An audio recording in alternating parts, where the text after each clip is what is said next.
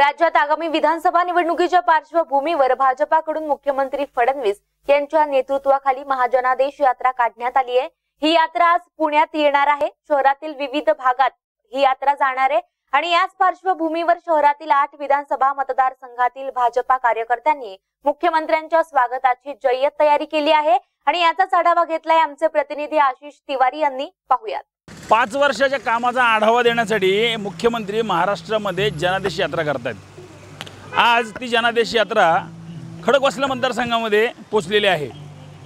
त्या खडकवासल्या मतदारसंघामध्ये जनयात्रेची पूर्वतयारी अतिशय उत्तमरित्या पार पडली कारण की आज परत एकदा खडकवासला हा भाजपमय झाला आहे याच संदर्भामध्ये आपण हेमंतदादा दांगड यांच्याशी संपर्क साधल्यानंतर ते काय त्यांनी काय माहिती दिली? आपण त्यांच्याच तोंडून ऐकूयात. दादा काय तयारी पूर्वतयारी केली आपण? आज मुख्यमंत्री आपल्या खडकवासला विधानसभा मतदारसंघामध्ये आहेत. आपलं काम आहे सामाजिक क्षेत्राचा आपला वारसा आहे. एकंदरीत काय तयारी आपली?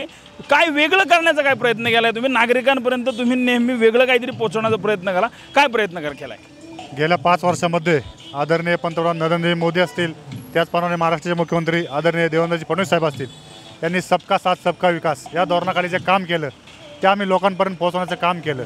आणि त्याचाच फलित म्हणून आज महाजनादेश यात्रेनिमित्त मुख्यमंत्री आमच्या सेंगड रोड खडकवासला मतदारसंघातून जात आहेत.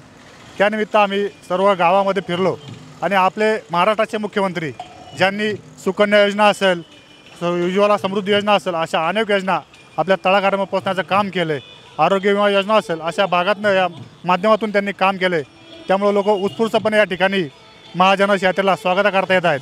आम्ही या ठिकाणी आमच्या समस्त ग्रामस्थ वडगाव बुद्रुक समस्त दांगट पाटील परिवार माझी पत्नी वैशाली दांगट पाटील त्याचप्रमाणे समस्त वारकरी परिवार आणि या ठिकाणी नरे येथील अंध व अपंग विद्यार्थी यांच्या यांच्या माध्यमातून या ठिकाणी मुख्यमंत्र्यांचं स्वागत करण्याकरता आम्ही या ठिकाणी हा उ- उपक्रम या ठिकाणी राबवला आहे. त्यानिमित्तानं या ठिकाणी मी मुख्यमंत्री सहायता निधीकरता एक लाख सहा हजार निधी या ठिकाणी मी मुख्यमंत्र्याला आज चेक देणार आहे.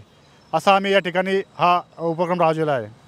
नक्कीच हेमंतदादाने सांगितलं की विविध प्रकारे आम्ही ह्या ठिकाणी मुख्यमंत्र्यांचं स्वागत करण्यासाठी आम्ही त्यां उत्सुक आहोत. सहकुटुंब आणि सहपरिवार ते या ठिकाणी उत्सुक आहेत. त्यांच्या घरामध्ये सामाजिक क्षेत्राचा वारसा आहे. आणि विशेष म्हणजे मुख्यमंत्र्यांचं या ठिकाणी स्वागत झाल्याच्यानंतर मुख्यमंत्री सहायता निधीमध्ये काही रक्कम हे महाराष्ट्राच्या गोरगरीब जनतेसाठी ते देणार आहेत. असेच विविध उपक्रम आज खडकवासल्यामध्ये होणार आहेत. या सगळ्या उपक्रमांचा आपण काही वेळात परत एकदा आढावा घेऊयात. Video journalist Gaurav भोसलेसह Ashish Tiwari M K news Pune.